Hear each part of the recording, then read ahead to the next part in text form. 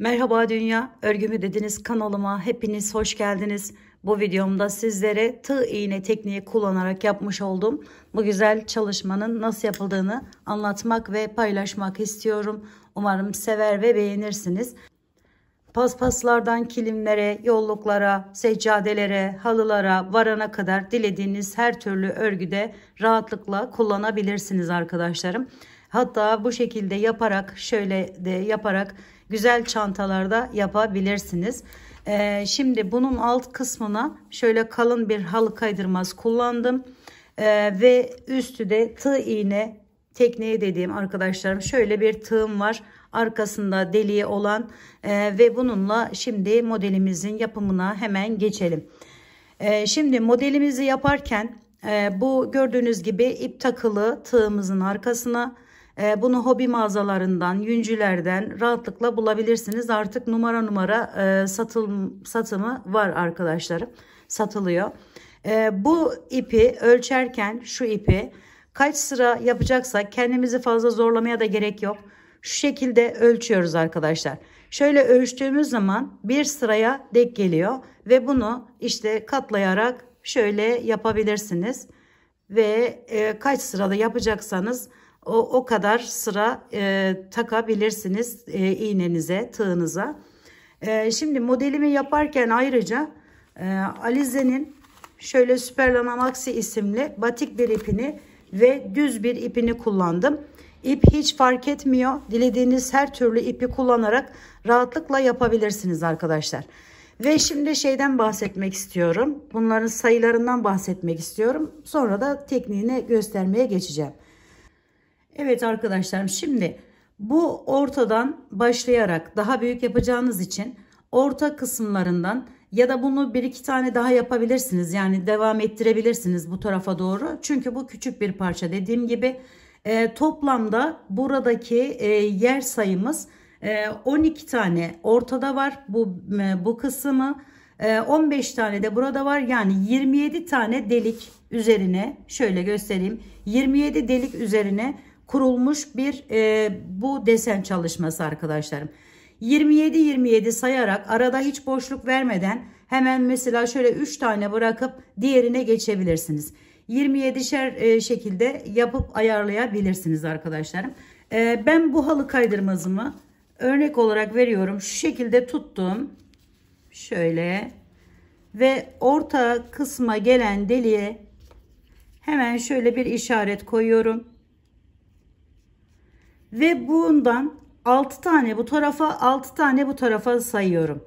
Bununla birlikte 12 tane yerimiz olacak. 1 2 1 2 3 4 5 6 Buradan başlayarak devam ediyorum şimdi. Burası 6 idi. 7 8 9 10 11 12. Şöyle 12. Bunu dediğim gibi 27 tane e, devam edecek yani kenarlara açılacak o yüzden bu kenar kısımlarını da ona göre diğer büyük parçalarda ayarlayabilirsiniz ve bir iki tane koyabilirsiniz.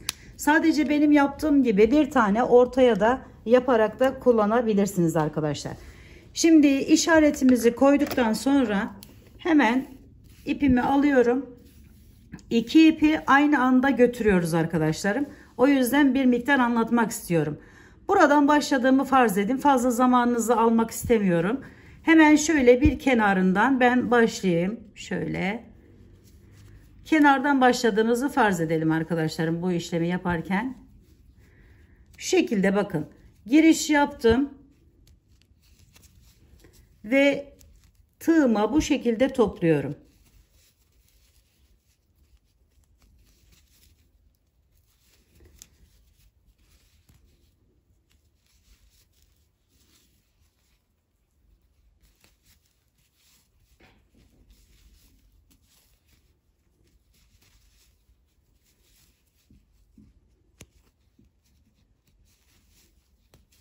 Sadece bu aradaki ip geçişini nasıl yaptığımı göstermem yeterli olacaktır. O yüzden böyle başlayalım ki her birinden bir tane alarak yapıyorum arkadaşlar bakın. Şöyle giriş yapıyorum ve alıyorum. Şimdi diğer renk ipimi bağlama yerim geldi. Hemen onu da alıyorum.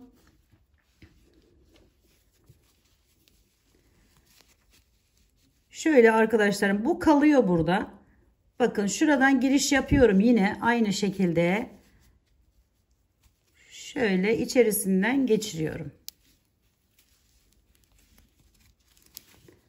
Ve bu ipimi de diğer ipimi de arkada duracak. O birazdan çekeceğiz ön tarafa. Şimdi bir taktım. 2 Şu ipimizi de götürelim arkada çıkmasın. Bakın arkası çok düzgün. Hiçbir e, ip şeyi yok arkadaşlar. Şöyle 3 oldu. 4 5 ve giriş yapıyorum yine 6 şimdi 6 tane yaptıktan sonra bu ip çok fazla arkada çıkmasın diye bu da çok önemli arkadaşlarım daha güzel duruyor örgünüz o yüzden hemen onu da bir bağlayalım buraya 6 bakın şöyle yaparak onu bir ön tarafa alıyorum ve tekrar geri alıyorum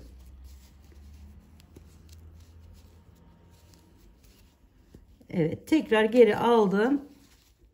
Şu arada bir bağlama yapmış oluyorum arkadaşlarım ki şurası böyle çok fazla çıkmasın diye.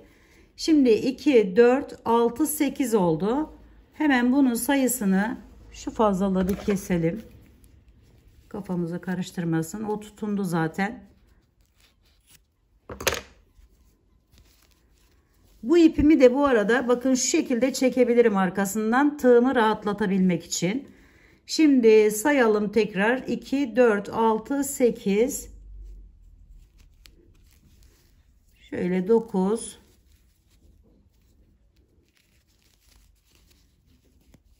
şöyle açık açık göstereyim ki tam net olarak anlaşılsın 10 11 12 şimdi 12 tane buraya taktıktan sonra diğer renk ipime geçiyorum tığ iğne ile yapmış olduğum başka çalışmalar da var arkadaşlar kanalımda. Oradan bakabilirsiniz. Şöyle diğerinde takarak devam ediyorum.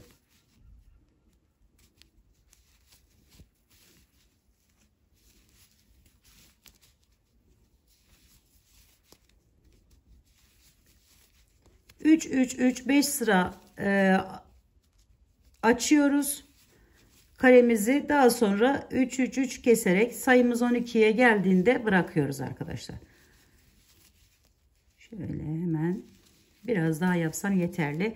Şimdi bakın bitirdiğimi farz edin. Bu kenara geldiğimi farz edin. Bu ipimi hemen içerisinden çekiyorum bu şekilde.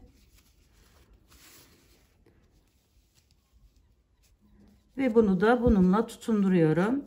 Şöyle bağlayabilirsiniz. Kenarda kalacak. Zaten kenarda yapacağımız için burası gözükmeyecektir. İçerisinden kaçmasın diye şöyle bir tutundum arkadaşlar. Evet bakın ilk sıramızı bu şekilde tamamlıyoruz. Şimdi hemen ikinci sıraya geçelim. Onu da gösterdikten sonra zaten anlaşılacaktır.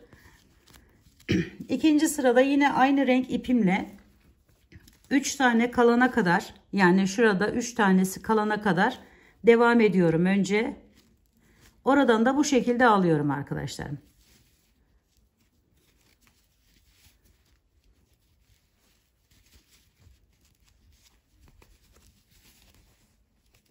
Biraz çekerseniz daha kabarık kabarık durur.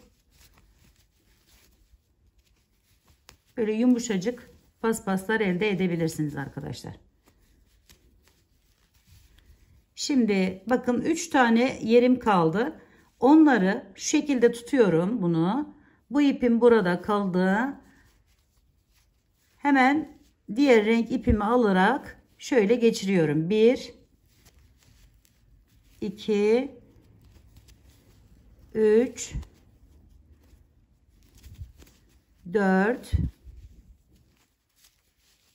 5 6 6 tane yaptım. Şimdi bunu bırakıyorum.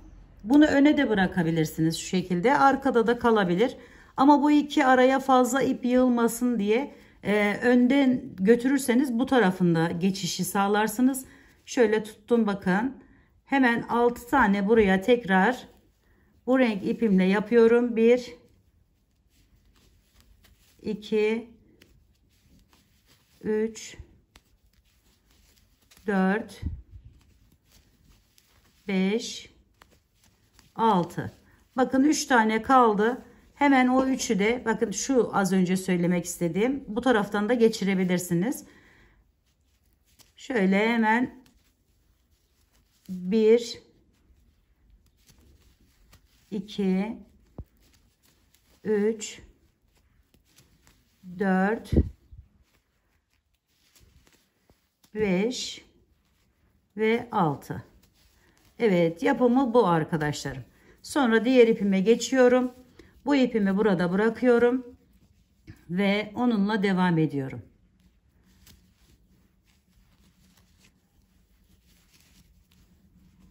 Bunların sayısını 12 yaptığımız yeri kaydırmaları e, daha büyük de yapıp sadece bir tane ortaya desen yapabilirsiniz. Yani tercih tamamen artık gerisi size kalmış arkadaşlarım. Yapım şekli bu şekilde. Böyle alarak devam ediyorum. 3 3 3 kaydırıyorum ve 5. sıraya geldiğimizde ise ortaya 6 tanesine tekrardan krem rengi ipimle bir yer yaptım. Bakın şimdi topladım hepsini ve çekiyorum. Ve böyle güzel bir görüntü ortaya çıkıyor. Bakın şu ralar artık açılarak böyle devam edecek. Şurada gördüğünüz gibi arkadaşlarım. Bakın sıra sıra. Bu şekilde 3 3 3 kaydırdım ben. Siz dediğim gibi daha büyük yapacaksanız ve tek yapacaksanız bunların sayısını arttırabilirsiniz. Yani 12'yi 15'e 20'ye çıkartabilirsiniz. Bu kaydırmaları 3 3 değil 5 5 e, ne bileyim 6 6 yapabilirsiniz ve şu deseni elde edebilirsiniz. Daha sonra ise e, ortaya geldim. Bakın ben bunda o yaptığımı da söyleyeyim ki şey olmasın. Şimdi 12 idi. Şöyle geldim 1 2 3 4 5. sıra. 5. sırada tam orta yerden yani şu 6'yı başladığımız yere geliyoruz ve buraya bir tane şekilde 6 tane krem rengi taktım ve devam ettim. Sonra 3 3 3 bakın keserek e, bunu bir araya getiriyoruz. Sonra arkadaşlarım 12 tane yine ilk başlangıç yerimize geri dönmüş oluyoruz ve tekrar bir 12 tane aynı şekilde üstüne yaparak bir diğer yerimize geçiyoruz. Ve onu da aynı şekilde yapıp kapatarak bitiriyoruz e, çalışmamızı, projemizi. Şimdi bu kısmı bu şekilde yaptıktan sonra bir miktar da istediğiniz gibi yapabilirsiniz ama ben şu şekilde yaptım. Kenar kısmını kısımlarını oradan da sizlere biraz bahsetmek istiyorum. Şöyle arkadaşlarım şu boş yerden yapalım. Şimdi buradan giriş yapıyorum. Zaten buraları e, en son yapın arkadaşlarım. Hani her şeyi bitirin. Ondan sonra yapabilirsiniz. Bu kenarını bakın şöyle bir iki zincir çektim ve hemen alıyorum çekiyorum. Bu şekilde. Bir iki zincir çekiyoruz ve hemen alıp şöyle kaydırma yöntemiyle bağlıyoruz. Şimdi bu tarafı da orada birer tane yer atlayarak e, yaptık.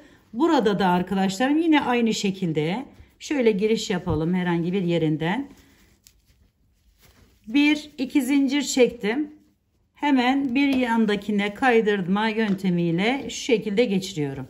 Bir iki zincir bir tane atlayın daha güzel durur. Şu şekilde halı kaydırmazınız da gözükmez. Bir iki zincir ve hemen bir tane atlayıp şu şekilde yapıyoruz. Evet arkadaşlarım kenar kısımlarında bu şekilde yaptıktan sonra projemizi tamamlamış oluyoruz. Umarım sevmiş ve beğenmişsinizdir. Yapacak olanlara şimdiden kolaylıklar diliyorum. Örgü dediniz kanalıma abone olmayı, beğenmeyi ve yorum yapmayı unutmazsanız çok sevinirim arkadaşlarım. Ee, bir dahaki yepyeni projelerde görüşmek dileğiyle. Hoşça kalın, sağlıkla kalın, Allah'a emanet olun arkadaşlar.